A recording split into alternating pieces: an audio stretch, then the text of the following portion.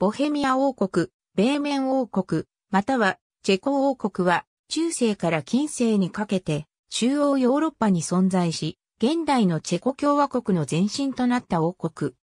神聖ローマ帝国の両方の一つであり、ボヘミア王は先帝公の一人だった。ボヘミア王は歴史的地域としてのボヘミアを中心として、モラビア、シレジア、ルーサティアの全域と、ザクセン、ブランデンブルク、バイエルンの一部を含むボヘミア王官僚を支配した。前身はボヘミア公国で12世紀にプシセミスル朝の下で王国に昇格した。その後ボヘミア王位はルクセンブルクやヤギーボアサと移り変わり、最終的にハプスブルク家のものとなった。王国の首都プラハは14世紀後半、16世紀末、17世紀、初頭に神聖ローマ皇帝の在所となった。1806年に神聖ローマ帝国が解体された後、ボヘミア王領はハプスブルク家のオーストリア帝国の領土となり、1867年にオーストリア・ハンガリー帝国に移行した後もオーストリアの一部とされた。ただし名目上、公式にはボヘミア王国は単一の王国として1918年まで存続した。そのまもプラハは帝国の主要都市の一つであり続けた。国内では主にチェコ語が話され、貴族の議会でもチェコ語が用いられていたが、30年戦争中の1627年の反乱が鎮圧された後に禁止された。それ以降はドイツ語がチェコ語と対等に使われるようになり、特に議会では19世紀のチェコ民族復活までドイツ語が用いられた。また13世紀の東方植民の際にドイツ人が多数入植した影響で、ボヘミア外縁部のズデーテン地方の都市ではドイツ語が主に使用されていた。王国議会では国王や時代によってチェコ語、ラテン語、ドイツ語など使われる言語が変化した。第一次世界大戦で中央同盟国が敗北したことで、ボヘミア王国はオーストリア・ハンガリー帝国と共に解体された。その丘陵は新たに独立したチェコスロバキア第一共和国の中核となった。クレムスのゴッツォブルク城で描かれた最古のボヘミア王国の紋章。9世紀に始まったボヘミア公国の歴史の中で11世紀後半にブラチスラフ2世、12世紀にブラジスラフ2世がボヘミア王を名乗ったが、いずれも一代限りに終わった。連続的なボヘミア王国が成立したのは1198年のことで、プシセミスル朝のオタカル一世が、ローマ王位をめぐるフィリップと夫を四世の争いに、際して前者を支援する見返りに王位を認められた。フィリップは争いに敗れ夫を四世が単独の皇帝となったが、オタカル一世は夫を四世や教皇インノケンティウス三世にもボヘミア王号を認めさせた。1212年に皇帝フリードリヒ二世が出したシチリア禁印直書においてボヘミア公国は正式に王国へ昇格した。ボヘミア王は帝国議会への出席を除き、将来にわたってあらゆる帝国諸侯としての義務を免れた。皇帝が持っていたボヘミア君主承認権やプラハ、司教任命権は放棄された。オタカル一世の息子バーツラフ一世は、ボヘミア王位を継承し、その地位を盤石なものとした。バーツラフ一世の妹アネシカチェスカーは、当時の女性としては、並外れて果敢かつ行動的な人物だった。皇帝フリードリヒ二世との縁談を断り、修道院に入って精神生活に生涯を捧げたのである。彼女が教皇インノケンテウス4世の後押しを受けて1233年に創設した紅聖騎士団はボヘミア王国最初の騎士修道会となった。なお、外来の騎士修道会としては、ボヘミアでは、すでに聖ヨハネ騎士団、聖ラザロ騎士団、ドイツ騎士団、テンプル騎士団の4つが活動していた。バーツラフ2世13世紀、プシセミスル朝は中央ヨーロッパ最強の王朝の一つとなった。皇帝フリードリヒ2世の地中海変調政策と彼の死後の大空位時代のために中央ヨーロッパにおける皇帝権力は著しく弱まった。また東方からはモンゴル帝国がヨーロッパに侵攻し、ボヘミアの東方のライバルであるポーランドとハンガリーが大いに力をそがれていた。1253年から1271年までのオタカル2世地下のボヘミア王国オタカル2世は帝国の大空位時代とほぼ被る知性の間にボヘミア王国史上最大の半島を実現した。皇太子時代の1252年にバーベンベルクや最後の男系女子だったマルガレーテと結婚してオーストリア公となり、オーバーエスターライヒ、ニーダーエスターライヒ、シュタイヤーマルクの一部を獲得した。その後1260年のクレッセンブルンの戦いで、ハンガリー王ベーラ4世を破り、シュタイヤーマルクの残部、ケルンテンの大部分、カルニオラの一部を征服し、その領土はアドリア海に達した。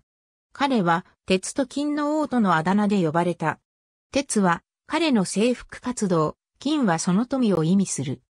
また、ドイツ騎士団を支援して、北方のプロイセンにも遠征して1256年に、異教徒のプルーセン人を破り、クラーロベツという都市を建設した。後に、ケーニヒスベルクのドイツ語名で知られるようになったその名は、王の砦を意味するが、これは、ドイツ騎士団が、オタカル2世に敬意を払ってつけたものである。しかし1273年に、ローマ王選挙で、オタカル2世を破り選出されたハップスブルク家のルドルフ1世は、皇帝権回復を志し、オタカル2世の勢力を削り始めた。国内貴族の反乱にも苦しんでいた、オタカル2世は、1276年までにオーストリアをはじめとするドイツにおける領土をすべて失い、1278年のマルヒフェルトの戦いで、ルドルフ一世との決戦に挑んだが敗死した。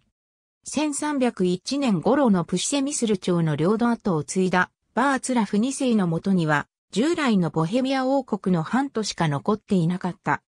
そのボヘミアも王が幼少であることから、その保護者になるという名目で、周辺諸国の侵略の的となり、一時期王国とバーツラフ2世は5年にわたり、ブランデンブルクシュテンダール辺境伯オットー4世の支配下に置かれたこともあった。が、彼は1300年にポーランド王位を獲得、1301年に息子バーツラフ3世をハンガリー王に即位させた。1305年にボヘミア王位、ポーランド王様も継承したバーツラフ3世の下で、プシセミスル朝の支配はハンガリーからバルト海にまで及んだ。しかし、翌1306年、ポーランド王位を守るためポーランド遠征を起としていたバーツラフ3世がオロモツで暗殺されて、プシセミスル朝は断絶400年に及んだプシセミスル朝のボヘミア統治は幕を下ろした。ポーランドでは、ビャストアサのブワディスワフ一世が諸侯の再統合を進めて1320年にポーランド王位を復活させ、ハンガリーではアンジュアサが成立した。その一方で、ボヘミア王国は国外の諸家が王位を争う闘争の舞台となった。13世紀はドイツからの東方植民が活発に行われた時代であるが、プシセミスル朝の歴代君主はこの活動を大いに支援した。ボヘミアの外縁部の都市や鉱山地域には多数のドイツ人が入植し、一部はボヘミア内部にも植民都市を建設した。ドイツ人入植地として有名な都市はストジーブロ、クトナーホラ、ニエメツキーブロとイフラバが挙げられる。ドイツ人はイウステウトニクムはチェコの歴史上の黄金時代と呼ばれる。1306年にプシセミスル朝が断絶したことでルドルフ一世とインジフ・コルタンスキーがボヘミア王位をめぐり争ったが、最終的に1310年にルクセンブルク家のヤン・ルケンブルスキーがバーツラフ三世の妹エリシカ・プシェミスロブナと結婚し、ボヘミア王となった。彼は神聖ローマ皇帝ハインリヒ七世の息子であった。ヤンの息子カレル一世は1346年にボヘミア王位を継ぎ、ルクセンブルクや二代目の王となった。彼は幼少期にフランス宮廷で養育されて国際人としての人格を育て、またボヘミアを不在にしがちな上1340年には失明した父に代わり、1333年以降13年間、ボヘミアを実質的に統治していた人物だった。カレル一世は、ボヘミア王国の地位と威信の向上に努めた。ボヘミアのマイムツ大司教の管轄下にあったプラハ司教を1344年に大司教に昇格させ、ボヘミア王に体感する権利を与えた。またボヘミア、モラビア、シレジアの貴族の力を抑え、領土経営の合理化を進めた。1348年には、モラビア、シレジア、ルーサティアを含んだボヘミア王官僚を成立させ、王領の不可分性を規定した。プラハ城。ボヘミア公、王、ローマ王、皇帝の在所となり、1918年以降は、チェコスロバキア及び、チェコの大統領府として使われている。1355年、カレル一世は、カール四世として神聖ローマ皇帝に即位した。翌1356年に、金印直書を発し、皇帝選出の手続きを整備した。この後、1473年に、カレル一世は、バイエルン皇統五世より、ブランデンブルク辺境伯領を購入し、皇帝選挙の際に、ルクセンブルク家で2票を確保できる体制を作った。カレル一世は、ボヘミア王国の首都プラハを帝国の首都に定めた。彼の下で、プラハでは、旧市街の南東に新市街を建設する一大事業が進められた。また、ロマネスク様式の宮殿だったプラハ城もゴシック様式に改築され、城塞としての機能が強化された上で皇帝の在所に定められた。カレル一世は1348年にプラハカレル大学を創設し、プラハを学問の中心地としようと試みた。大学内は、チェコ、ポーランド、ザクセン、バイエルンという4つのネーションに分けられ、それぞれが投票権を持つ体制が作られた。しかしながら、時が経つにつれて、プラハカレル大学は、チェコ人中心主義の中核になっていった。1378年にカレル一世が死去すると、王位は息子のバーツラフ4世に移った。すでに彼は1376年にローマ王に選出されていた。しかし皇帝としての体感を果たせぬまま失勢を重ね、1400年にはローマ王を廃位された。なんとかボヘミア王位は保ったものの、彼の時代のボヘミアは不況に陥り、盗賊や死闘が横行した上、国死病の流行にも見舞われた。弟のジクムントは1410年にローマ王に選出され、1433年にローマで皇帝に即位した。彼の代でルクセンブルク家は断絶した。1419年から1620年までのフス派勢力圏の推移1402年から1485年にかけてのフス派の活動は宗教改革運動にとどまらないチェコ民族運動の走りでもあった。ボヘミア宗教改革と呼ばれる一連の宗教改革運動は、教皇の権威に挑戦し、ボヘミア地域の教会の独立を試みるものだった。フス派と帝国、教皇の間で、フス戦争が勃発、フス派は4度にわたってフス派十字軍を撃退し、後のプロテスタントの走りとみなされている。十字軍兵士の多くがドイツ人であったことから、フス派はチェコのナショナリズムの始まりとみなされることがある。ただし、十字軍には多くのハンガリー人やチェコ人カトリック教徒も参加していた。現代のチェコ史学上では、フス派は反帝国、反ドイツ運動の短所という地位を与えられ、さらには長期的なチェコドイツ民族対立の一部とみなされることすらある。フス派はバーツラフ4世の治世下で勃興した。この頃カトリック教会は大シスマ状態にあって、教皇の権威が著しく減退しており、帝国でも皇帝の失勢のために秩序が失われていた。1403年にプラハカレル大学の教授となったヤンフスは、イングランドのジョン・ウィクリフの反教皇、反ヒエラルキー主義に共鳴し、教会改革を求める説教師として活躍するようになった。フスは富、汚職、カトリック教会のヒエラルキーを否定し、ウィクリフの教義に従って、聖職者に製品を求めるとともに、生産において、平身とも、バンとワイン療法を受ける二種生産を提唱した。またフスは聖書をチェコ語に翻訳し、チェコ語はギリシア語、英語に次いで、現代も一般に話されている言語の中では3番目に聖書の全文翻訳がなされた言語となった。ドイツ人の神学教授たちはフスにウィクリフ批判を強要したが、フスは大学内のチェコ人派閥の後押しを受けて、これを拒絶した。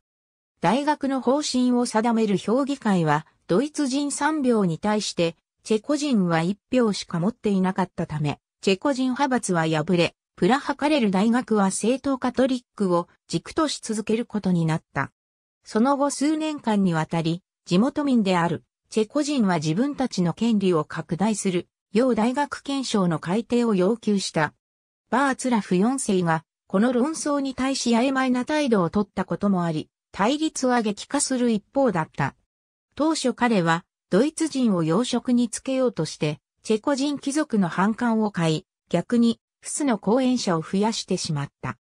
ドイツ人派閥は、プラハ大司教、ズビニエク在逸や、国内のドイツ人聖職者の支持を得ていた。しかし政治的に追い詰められたバーツラフ4世は、変身してドイツ派からチェコ派にくら替えし、今度は宗教改革派と手を組んだ。1409年1月18日、バーツラフ4世は、クトナーホラ直令を発し、大学内のチェコ人に3票の投票権を与え、他の国民は1票と改めた。これによりフスは大学の主導権を握り、対してドイツ人の教授や生徒数千人がプラハカレル大学を離れ、彼らの多くはマイセン辺境博フリードリヒ4世を頼ってライプツヒ大学を創立した。1600年のヨーロッパ大学内の闘争に勝利したフスだったが、カトリック教会の食友情販売を批判したことで、売り上げの一部を受け取っていた王の支持を失った。教皇庁は、プラハの政務停止を宣告して圧力をかけ、結果として1412年、フスト支持者たちは大学の職を解かれ、プラハからも追放された。その後、約2年の間、フスは巡回説教師として、ボヘミア中を回り、自身の改革協議を広めていった。1414年、フスはコンスタンツ公会議に召喚され、到着後すぐに投獄された。彼は自説を曲げないまま異端宣告を受け、生命を保障されていたにもかかわらず1415年7月6日に家計に処された。現在、この日はチェコ共和国の祝日となっている。フス派の軍事指導者、ヤンジシカの乗馬像、フスの処刑により、数十年に及ぶフス戦争が勃発した。1419年に説教し、ヤンジェリフスキー率いるフス派市民が第一次プラハ、総該当的事件を起こし、ドイツ人市長と評議員を殺害した。その方を受けたバーツラフ4世は卒倒、半月後に死んでしまった。その後を継いで、ボヘミア王に即位した弟のジクムントは、コンスタンツ公会議の際に、ハンガリー王として、フスの処刑を主導した人物だった。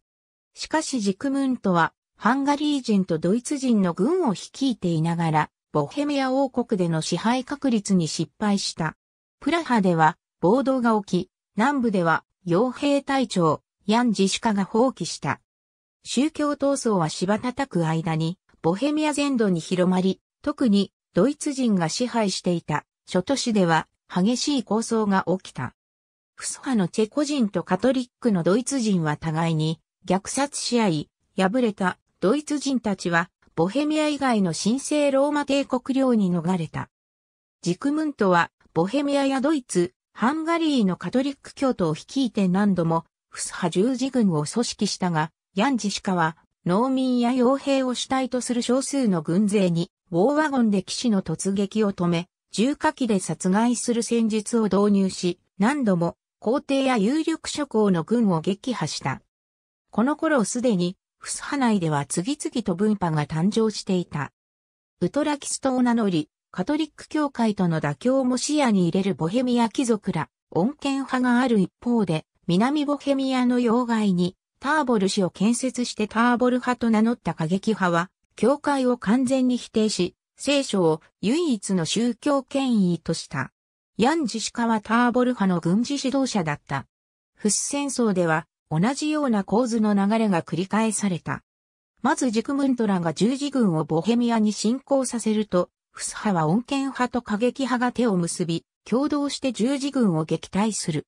しかしひとたび脅威が去れば、フス派軍はカトリック教徒の地域に繰り出して略奪と虐殺を繰り広げた。多くの歴史家たちはフス派を共振者として描いている。一方で、彼らはフス派の権利や存在そのものを否定する王や、教皇と戦い、自らの土地を死守するナショナリストの方がとも言える顔も持っていた。自主化は途中でオレープ派を結成してターボル派と距離を取りつつ、カトリック軍と戦いながら、城塞や修道院、村を襲い、カトリックの聖職者を追い出して、教会領を接収するとともに、カトリック教徒のフス派への改宗を進めていった。しかし彼は1424年に国死病に倒れ、ターボル派の大プロコプトコ、プロコプが後を継ぎ、積極的にドイツに侵攻して勢力を拡大した。一方で1433年、ウトラキストはバーゼル公会議に代表団を派遣し、カトリック教会との和解を図った。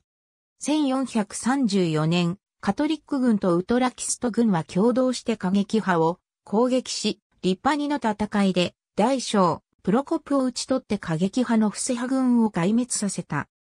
1436年バーゼルの制約が締結され、フス派説教の自由、二種生産、聖職者の不正排除、各階級による裁判と処罰といったプラハ4箇条で示されたフス派の基本事項がすべてカトリック教会に認められた。しかし教皇王エウゲニウス4世がバーゼルの制約の承認を拒否したため、ボヘミアのカトリックとウトラキストの間には溝が残った。ウトラキストがボヘミアの政権を握ったことで、都市からはドイツ人の裕福な市民が姿を消した。聖職者はその心情に関わらず、財産を貴族や都市に没収され、影響力が弱まった。ジクムントと戦う過程で、ターボル派は、ボヘミア王国の領域を飛び出し、モラビア、シレジア、ルーサティア、さらには、現在のスロバキアにあたる上、ハンガリーにも進出した。リッパニの戦いの後、カトリック軍に追われたチェコ人宗教難民が大勢ここに流れ込み、1438年から1453年にかけてフス派の残党であるチェコ人貴族ヤン・イスクラが南スロバキアから増4、カッサに至る地域を支配した。フス派の軍事的影響とチェコ語聖書の普及は後のスロバキアとチェコの強いつながりの短所となった。また一時期ポーランド王ブアディスワフ2世の援助を受けていた関係で、ポーランド軍にもフス派が参加しており、彼らはバルト海にまで到達した。フス派のウォーワゴン。フス派は他にも重火器などの新兵器を駆使して十字軍を撃退した。1437年にジクムントが死去すると、ボヘミアの諸階級はその意思に沿ってハプスブルク家のアルブレヒトをボヘミア王とした。その死後は、イジラジスラフ・ポフロベクが後を継いだが、幼少だったためウトラキストの流れを組む改革派貴族が摂政となった。しかし、貴族の中にはカトリックに泊まり、教皇に忠誠を誓う者も残っており、内紛が絶えなかった。ラジスラフ・ポフロベクは、オーストリアで後見人フリードリヒに幽閉されており、ボヘミアでは1452年以降、恩恵フス派の指導者イジーが摂政として政権を握った。彼は同じウトラキストのヤンロキツナをプラハ大司教として、さらに過激派のターボル派の残党をチェコ改革協会に取り込むことに成功した。カトリック派はプラハを追い出された。1457年にラジスラフ・ポフロベクが白血病で死去すると、ハンガリー議会はマーチャーシュ一世をハンガリー王に、ボヘミア諸階級はイジーをボヘミア王に選出した。彼は大貴族ではあったが、王家の血筋ではなく、この国王選出は、教皇や他の王公に承認されなかった。異端の楽印を押されて、ヨーロッパカトリック世界の中で孤立していたイジーは、ヨーロッパのキリスト教諸国が巨大な連合体を形成し、構想を止めるとともに団結して、オスマン帝国に対抗するという壮大な構想を立てた。その中では各方が一票を握り、フランスが主導的な立場につくとされており、教皇には特別な地位を与えなかった。イジーは1464年から1467年にかけて各国宮廷をめぐり自らの構想を訴えたが失敗に終わった。1465年、カトリックのボヘミア貴族はゼレナーホラ同盟を結び、イジーへの抵抗を表した。翌年、教皇パウルス2世はイジーを破門し、ボヘミア新民のイジーへの服従義務を説いた。これを受けて1468年にボヘミア戦争が勃発し、ハンガリー王マーチャーシュ一世や神聖ローマ皇帝となっていたオーストリア大公フリードリヒ三世の侵攻を受けた。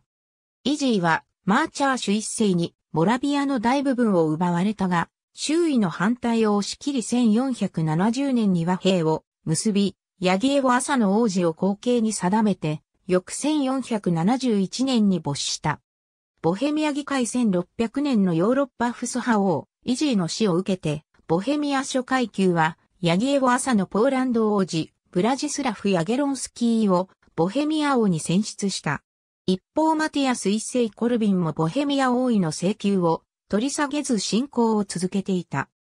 1479年に両者はオロモーツの和訳を結び、ブラジスラフはシレジア、モラビア、ラウジッツとボヘミア王位をマティアス一世に上とわずかにボヘミアを残すのみとなった。ブラジスラフは国内のカトリックとフス派の対立にも悩まされたが、1485年にカトリック派がバーゼルの制約を受け入れ、両者の和解がなった。1490年にマティアス一世が死しなくして死去したため、ブラジスラフは彼の後を継ぐことで給料を回復、さらにハンガリー王用も獲得した。ブラジスラフがブダに移ってハンガリー統治に専念したため、ボヘミアではほとんど各地の貴族が自治を行う状況になり、1500年にボヘミア貴族が王権を制限する法を制定すると、ブラジスラフも1502年に承認した。ハンガリーと同訓連合を結んだボヘミアは、神聖ローマ帝国から浮いた存在になり、1500年に帝国クライスが成立した際もボヘミア王官僚は除外された。1515年、ブラジスラフは神聖ローマ皇帝マクシミリアン一世や弟のポーランド王ジグムント一世と会談、ウィーン二重結婚を取り決めた。1516年、ブラジスラフの息子ルドビーク王が、ボヘミア王、ハンガリー王を継いだが、彼は1526年にモハーチの戦いで、オスマン帝国と争い廃止した。ここにヤゲロンキアサが断絶したため、二重結婚でルドビークと強い縁石関係にあったオーストリア大公フェルディナント一世がボヘミア王位、ハンガリー王位を請求した。彼はボヘミア王に選出され、上、ハンガリーを含むハンガリー北西部を支配下に入れた。これ以降、4世紀にわたって、ハプスブルク家がボヘミアとスロバキアを支配することになった。1583年、ルドルフ2世は、ウィーンからプラハに遷都し、プラハは芸術の都として、再び繁栄期に入った。17世紀になると、ボヘミアは、プロテスタントの拠点として、ハプスブルク皇帝への抵抗の兆しを見せるようになる。1618年にプラハ市民が第二次プラハ総外党的事件を起こし、ヨーロッパ中を巻き込む30年戦争が勃発した。ただし、ボヘミア諸侯は1620年の白山の戦いで、皇帝軍に敗れて早期に鎮圧され、ボヘミアの自治要求運動は終わりを迎えた。1648年のプラハの戦いでは、スウェーデンがプラハを包囲、略奪し、終戦後は神聖ローマ皇帝も、ウィーンへ再戦としてしまった。ボヘミアの鉄道網1740年、フリードリヒ2世率いるプロイセンが、シュレージエン戦争で、ボヘミア北西部のシュレージエンを占領し、女王、マリエ・テレジエは1742年に南部を除くシュレージ園の大部分の割譲を余儀なくされた。1756年、マリエ・テレジエは、フランスやロシアと共に、プロイセンに対する包囲網を結成して7年戦争を起こし、シュレージ園打開を試みた。対するプロイセン軍は、ザクセンを占領した後1757年に、ボヘミアに侵攻、プラハの戦いで、ハプスブルク帝国軍を破り、一時プラハを占領した。プラハ市街の4分の1以上が破壊され、セービット大聖堂も大きな被害を受けた。コリンの戦いでは、ハプスブルク帝国が勝利し、プロイセン軍をプラハ及びボヘミアから追い出したものの、シュレージエンの大部分は回復できなかった。チェコ共和国の国章1806年にナポレオン戦争により神聖ローマ帝国が完全に解体されると、ボヘミア王国はオーストリア帝国に吸収され、ボヘミア王号はオーストリア皇帝の不可称号となった。1867年のアウスグライヒでオーストリア・ハンガリー帝国への改変がなされた際には、ボヘミア、モラビア、オーストリア領、シュレージエンはオーストリア帝官領の一部となった。名目的には、ボヘミア王国は1918年のオーストリア帝国崩壊まで存続し、その後チェコスロバキア共和国に改変された。現在のチェコ共和国は、ボヘミア、モラビア、チェコ領スレスコといった地域で形成されており、現代でもボヘミア王国をシンボルとしている。共和国の国章には2尾の獅子があしらわれており、ボヘミア王国の赤白錦旗はチェコの国旗やプラハ城にも見ることができる。1618年のボヘミア王冠領もともと広告だったボヘミア及びクラツコ白領がボヘミア王国の中心である。イーガーラントは1322年にボヘミア王ヤン・ルケンブルスキーが皇帝ルートビヒ4世を支援する見返りとして正式に獲得した。1348年、ローマ王を兼ねたカレル一世によって以下の両方を含むボヘミア王冠領が成立した。カレル一世以前の13世紀、オタカル二世が以下の両方をボヘミア王国に統合したが、その晩年にすべてハプスブルク家のルドルフ一世に奪われている。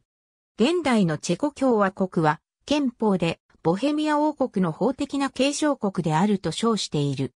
銀山採掘の中心地だったクトナーホラは、一時期はボヘミア王国内でプラハに次ぐ重要都市であった。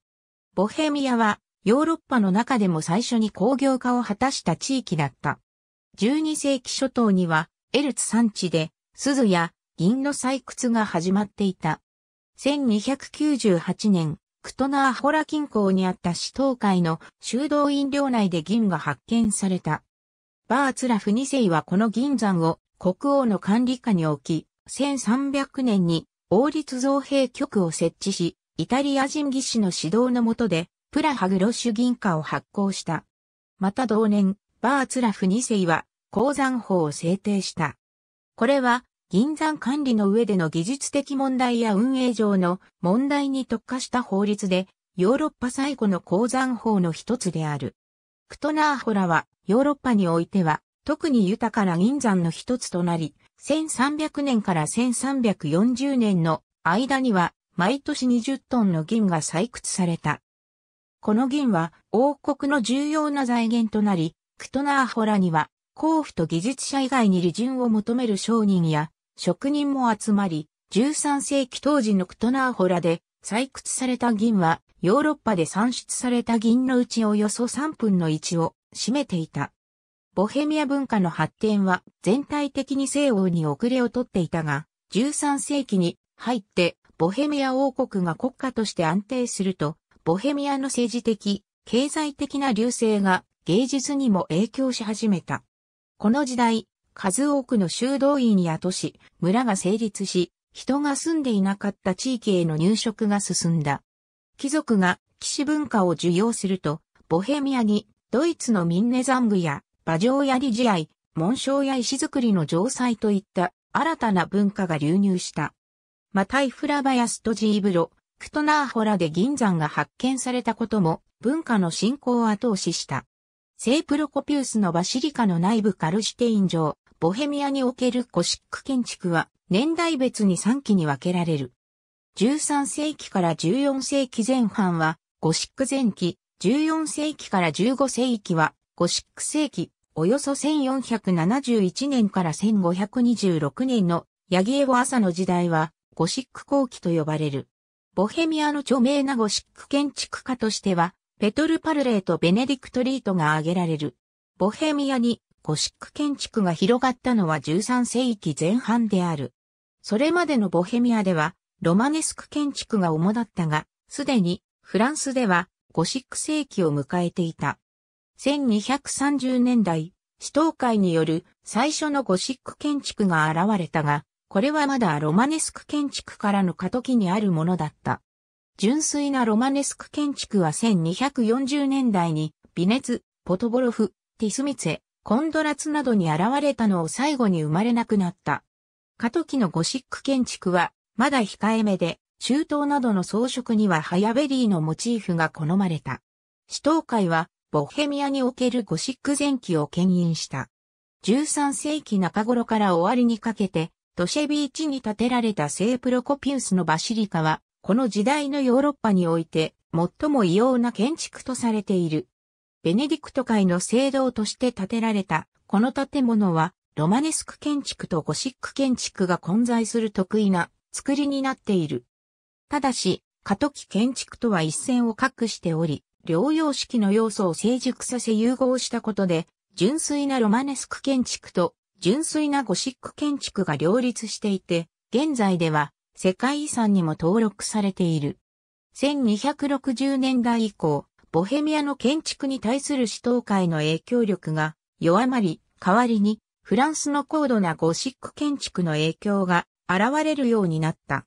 ボヘミアのゴシック世紀はバーツラフ2世地下の1290年代から始まり、垂直性や光が強調されるようになった。ルクセンブルク朝の祖であるヤン・ルケンブルスキーは、ボヘミア王国を離れることが多く、あまり建築に力を入れなかったため、プラハ司教のヤン4世が南フランスの建築家を招いて、国内の建築を進行した。カール4世の時代、ボヘミアのゴシック建築は最盛期を迎える。彼は少年期を過ごしたフランスの影響を受けた芸術の支援者であり、さらに彼が皇帝に即位したことでプラハは神聖ローマ帝国の首都となりさらに発展した。彼と息子のバーツラフ4世の時代、短期間ながら、ボヘミアの文化はヨーロッパの頂点に上り詰めた。ボヘミアゴシック世紀最高の建築物は、1348年から1357年に建設されたカルシュテイン城である。しかし、ゴシック建築の流星は、フス戦争の勃発により終わりを迎える。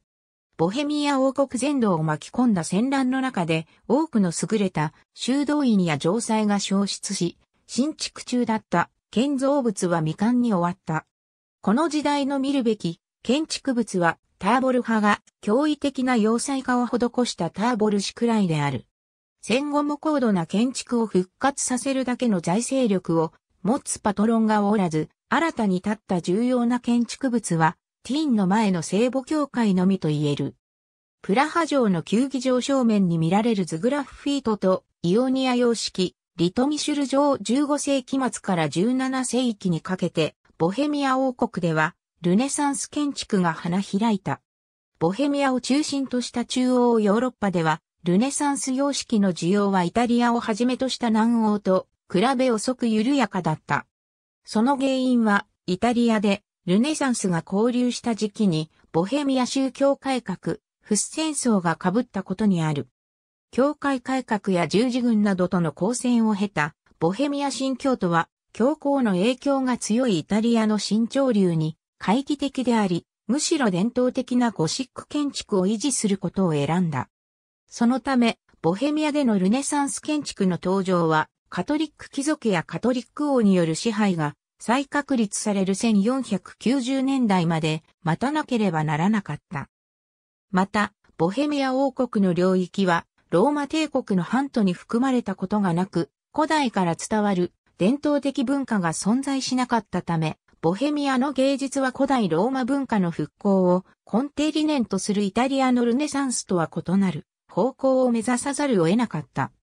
16世紀後半までは、例えば宮殿の居住スペースはルネサンス様式で建て、礼拝所はゴシック様式を残すといったように、ルネサンス建築とゴシック様式が混在し続けた。ボヘミアのルネサンス建築では、正面にズグラフィートが施されているものが多い。1918年のチェコスロバキア独立以前、ボヘミアは長きにわたり、ハプスブルク帝国の支配下にあったため、ボヘミア文学やチェコ語の歴史は、チェコ民族の独自性を守ろうとする運動と深く関連している。ボヘミアでは1097年にラテン語が書き言葉として導入されたが、次第にチェコ語に置き換えられていった。最も早い時期のチェコ語文献は13世紀のプシセミスル朝宮廷の文書で賛美歌が主だった。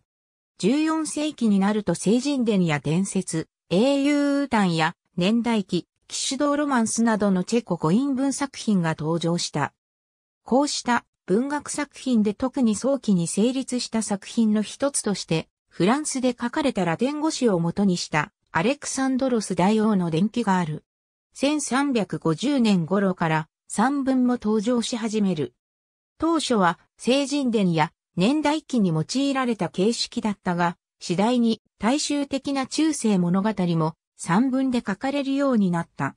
14世紀末には、風刺印文や教訓詩、またスミルフラシュカのノバラダのような政治風刺文学も生まれた。これは、ボヘミア王に対し貴族の権利を守るため執筆されたものである。ペトル・ヘルチツキーの像15世紀初頭に、ヤンフスによるボヘミア宗教改革が始まり、宗教改革者たちは2世紀に及ぶカトリック教会や神聖ローマ皇帝との闘争に突入した。この時代の収支論争や改革派の内部構想の結果、実用的な分野においてもチェコ語による筆記が促進された。フス自身もチェコ語で説教を行い、ボヘミア語の聖書法についてと題した論文を執筆してチェコ語表記法の改革を訴えたとされる。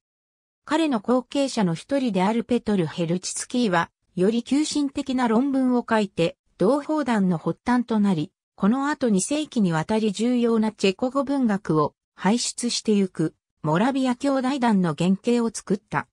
16世紀のボヘミア文学は、ルネサンス期のヒューマニズムに影響を受けた、教訓書や学術論文が中心となった。1579年から1593年の間には、同胞団の学者たちがチェコ語の翻訳聖書を制作し、これが古典的チェコ語の原型となった。ヨハネス・アモス・コメニウス1620年にハプスブルク家がボヘミアのプロテスタントを打倒し、ボヘミア貴族が駆逐された後、ボヘミアにはチェコ語の知識が乏しいドイツ人貴族が入ってきた。これまでの2世紀の間に培われたチェコ語の伝統は、ハプスブルク家の支配下で否定され、国外に亡命したチェコ人のみがボヘミア文学を存続させていた。こうした亡命チェコ人で特に重要なのが教育学者として知られるヤン・アーモス・コメンスキーである。彼が1631年に表した地上の迷宮と心の楽園はチェコ語による散文としては偉大な作品の一つに数えられている。しかし18世紀までにチェコ語は文学においても使われなくなっていった。18世紀後半に歴史主義や解雇主義の風潮が生まれ、多くのチェコ人学者たちがボヘミアの古文学や歴史を研究するようになった。さらに、マリア・テレジアによるハプスブルク帝国の中央集権政策に反対して、ボヘミアに愛国主義が勃興した。この二つのロマン主義的な現象の結果として、19世紀前半、チェコ民族復活運動が生まれた。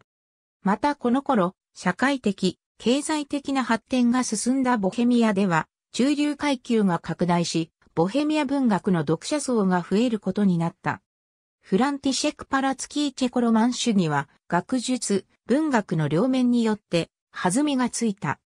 ヨセフ・ドブルフスキーはチェコ語の書き言葉を研究し、再体系化した。ヨセフ・ユングマンは、翻訳文学を発展させることで、チェコ語の語彙を拡張、改新するとともに、1835年から1839年にかけてチェコ語、ドイツ語辞書を編纂した。モラビアでも歴史家のフランティシェク・パラツキーやスロバキア人の考古学者パベル・ヨセフ・シャファジクらがチェコ語復興に取り組んだ。スロバキア人のヤンコラールはチェコ語で風刺的なソネット連作、スラブの娘を書いた。これは復興チェコ語の最初の重要な文学作品である。カレル・ヒネクマーハチェコロマン主義時代の、そしてチェコ文学史上最大の詩人が、カレル・ヒネクマーハである。1836年の叙情詩、5月には、ジョージ・ゴードン・バイロンや、ウォルター・スコット、ポーランドロマン主義の影響が見られるが、マーハは強烈な詩的ビジョンと完璧な言語使用によって、これらの先駆者を超越している。1840年代になると、ロマン主義に対抗する動きが出てくる。政治ジャーナリストのカレル・ハブリーチェク・ボロフスキーや、小説家ボジェナ・ニエムツバーラはより政治問題に関心を寄せ、チェコ語を日常の会話に導入することで、チェコの伝統の復興を図った。19世紀後半、リベラルで現実主義的なナショナリズムにチェコ文学を浸透させようと試みる5月グループが登場した。代表的な作家としては、詩人、短編作家のヤンネルダや、小説家、カロリナ・スベトラー、詩人ビーテツラフ・ハーレクなどがいる。1870年代までに詩や小説の分野でチェコ語が確立されたが、演劇はそれらに遅れをとっていた。チェコ語の文学分野はルミル派とルフ派の二つに集約され、前者はチェコ文学をヨーロッパ化する必要性を説いたが、後者はチェコ本来の伝統に重きを置いた。エミル・フリーダは、チェコ文学史で最も多作な人物の一人で、コスモポリタニズム的な潮流を牽引した。彼は熟達したチェコ語で、叙情詩を生み出していった。彼の作品は、各国語に翻訳され、ヨーロッパ中の作家に影響を与えた。ユリウス・ゼベルの短編にもコスモポリタニズムの思想が伺える。この時代の民族主義的な文学者としては、スバトプルクチェフが挙げられる。彼は、歴史的な女児詩を再構成してのどかな、チェコ人の生活を描き、実利主義的なチェコ人の中産階級を風刺した。19世紀後半のチェコの文学は、歴史小説家のアロイス・イラーセクやジクムンド・ビンターに見られるような現実的な記述が主流となった。彼らはチェコの歴史を理想化して描いていたが、その細部には学術研究の成果が反映されていた。イラーセクは自分の時代まで至る全チェコ史を小説で描き、その中にはフスハの時代や1780年以降の民族復活の時代も含まれていた。19世紀末、詩の分野では、オタカル・ブジェジナ、ペトル・ベズルチラによる新潮流が生まれた。ブジェジナは繊細で独創的な言葉で自分の心情を語り、彼の韻律は後のチェコシカに大きな影響を与えた。1712年のボヘミアの行政区画1833年以前には以下の州が存在した。ただし年代はそれぞれ異なる。以下、区画名はチェコ語名、括弧内にドイツ語名を示す。1847年の行政区画、ヨハン・ゴットフリート・ゾマーによれば、1833年から1849年までは16州が存在した。